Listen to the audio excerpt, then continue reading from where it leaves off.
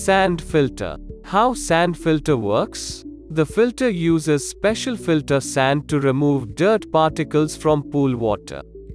The filter sand is loaded into the filter tank and functions as a permanent dirt removing media.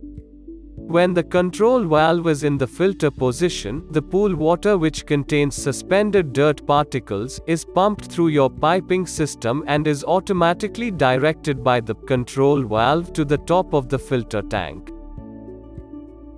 As the pool water is pumped through the filter, dirt particles are trapped by the sand bed and filtered out. The cleaned pool water is returned from the bottom of the filter tank, through the control valve and back to the pool through the piping system. This entire sequence is continuous and automatic. It provides for total recirculation of pool water through your filter and piping system. After a period of time, the accumulated dirt in the filter causes a resistance to flow, and the flow diminishes. This means it is the time to clean your filter. With the control valve in the backwash position, the water flow is automatically reversed through the filter so that it is directed to the bottom of the tank, up through the sand, flushing the previously trapped dirt and debris out the waste line.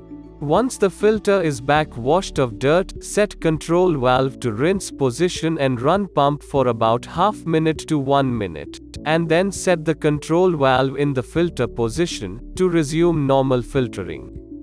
Note, turn pump off before changing valve position.